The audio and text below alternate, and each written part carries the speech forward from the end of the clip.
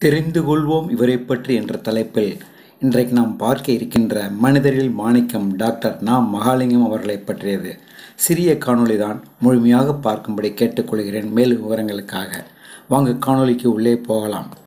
ஏராளமான இளைஞர்களுக்கு வேலைவாய்ப்பு வழங்கியதோடு தொழில் முனைவோருக்கு வழிகாட்டியாக திகழ்ந்த பொள்ளாச்சி நா மகாலிங்கம் ஆயிரத்தி தொள்ளாயிரத்தி இருபத்தி மூணாம் ஆண்டு மார்ச் இருபத்தி ஒன்றாம் தேதி கோவை மாவட்டம் பொள்ளாச்சியில் பிறந்தார். சாதாரண விவசாய குடும்பத்தில் பிறந்த இவர் மாட்டு வண்டியில் தொழில் தொடங்கிய இவரது தந்தை ஆனைமலை பஸ் டிரான்ஸ்போர்ட் உரிமையாளராக உயர்ந்தார். இது பின்னர் சக்தி குழும நிறுவனங்களுக்கு அடித்தளமாக அமைந்தது.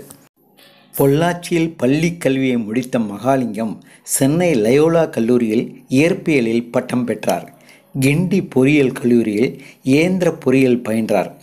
தந்தை வழியில் தொழிலில் ஈடுபட்ட இவர் பல்வேறு தொழில் வணிக திட்டங்களை தொடங்கினார். சக்தி குழும நிறுவனங்களின் தலைவராக உயர்ந்தார்.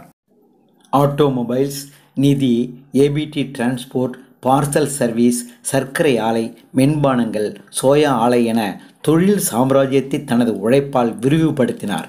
ஏராளமான இளைஞர்களுக்கு வேலைவாய்ப்பு வழங்கியதோடு தொழில் முனைவோருக்கு வழிகாட்டியாக திகழ்ந்தார். ஆரம்ப கல்வி முதல் ஆராய்ச்சி கல்வி வரை தாய்மொழியிலேயே பயிற்றுவிக்கப்பட வேண்டும் என்று விரும்பினார். மாணவர்களுக்கு கல்வியோடு தொழில் பயிற்சியும் வழங்க வேண்டும் என்று வலியுறுத்தினார். காங்கிரஸ் கட்சியில் தீவிரமாக பணியாற்றியவர் சி. சுப்பிரமணியம். இவரது அரசியல் வழிகாட்டி. ஆயிரத்தி தொள்ளாயிரத்தி ஐம்பத்தி ரெண்டு ஆயிரத்தி தொள்ளாயிரத்தி ஐம்பத்தேழு ஆயிரத்தி தொள்ளாயிரத்தி அறுபத்தி ரெண்டு பொள்ளாச்சி தொகுதி எம்எல்ஏவாக தேர்ந்தெடுக்கப்பட்டார். தொகுதி வளர்ச்சிக்காக பல திட்டங்களை செயல்படுத்தினார். பரம்பிக்குளம் ஆழியாறு திட்டம் செயல்படுத்துவதில் முக்கிய பங்காற்றினார். ஆயிரத்தி தொள்ளாயிரத்தி அறுபத்தி ஒம்பது முதல் அரசியலிலிருந்து விலகி சமூக பணிகளில் கவனம் செலுத்தினார். தொழிற்கல்வி பாடத்திட்டத்துடன் கூடிய மேல்நிலைப் பள்ளியை நிறுவினார். கோவையில் குமரகுரு தொழில்நுட்ப கல்லூரி பொள்ளாச்சியில் டாக்டர் மகாலிங்கம் பொறியியல் கல்லூரி என்ஜிஎம் கலை அறிவியல் கல்லூரி நாச்சிமுத்து பாலிடெக்னிக் உள்பட பல கல்வி நிறுவனங்களை தொடங்கினார். ஆன்மீக ஈடுபாடு மிக்கவர். வள்ளலார் மீதான பக்தியால் சமரச சுத்த சன்மார்க்க அமைப்புக்கு பல வகைகளிலும் உதவினார். சச்சிதானந்த சுவாமிகளிடம் ஈடுபாடு கொண்டிருந்தார். ஆழியார் பகுதியில் அறிவு திருக்கோயிலை உருவாக்க வேதாத்திர மகரிஷிக்கு நிலத்தை வழங்கினார். ஓம் சக்தி என்ற ஆன்மீக இதழை நடத்தி வந்தார். சித்த மருத்துவ ஆராய்ச்சிகளுக்கு பல வகையில் ஆதரவு அளித்தார். தமிழில் சங்ககால பக்தி இலக்கியங்களை வெளியிட பல பதிப்பகங்களுக்கு நன்கொடை வழங்கினார்.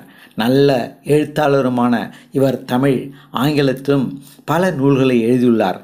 காந்திய கொள்கையில் அதிக ஈடுபாடு கொண்டவர். இவரது பல ஆண்டுகால சமூக சேவையை பாராட்டி அண்ணா பாரதியார் காஞ்சி சங்கராச்சாரியார் பல்கலைக்கழகங்கள் கௌரவ டாக்டர் பட்டங்களை வழங்கின. பத்மபூஷன் இந்திரா காந்தி ஒருமைப்பாட்டு விருது மொரிஷியஸ் அரசு விருது உள்பட பல விருதுகளை பெற்றுள்ளார். அரசியல் ஆன்மீகம் சமூகம் தொழில்நுட்பம் உள்பட பல்வேறு துறைகளில் இவரது சாதனைகள் பற்றி ஏராளமான நூல்கள் எழுதப்பட்டுள்ளன. அருட்செல்வர் என அன்போடு அழைக்கப்பட்ட பொள்ளாச்சி நா மகாலிங்கம் ரெண்டாயிரத்தி பதினாலில் காந்தி ஜெயந்தி அன்று ஆன்மீக நிகழ்ச்சியில் சொற்பொழிவு நிகழ்த்தும் போது உயிர் பிரிந்தது. அப்போது அவருக்கு வயது தொண்ணூற்றி ஒன்று. அன்பர்களே இந்த காணொளி உங்களுக்கு பிடித்திருக்கும் என்று நினைக்கிறேன். மீண்டும் நல்லதொரு சந்தர்ப்பத்தில் அடுத்த காணொலியில் விரைவில் உங்களை சந்திக்க காத்து கொண்டிருக்கும் உங்களின் பேரன்பிற்குரிய பேராசிரியர் அருவி பழனி அரவிந்தர் அன்னை அருள் சேனலில் இருந்து இந்த காணொலியை முழுமையாகவும் பொறுமையாகவும் பார்த்தமைக்கு மிக்க நன்றி. வணக்கம்.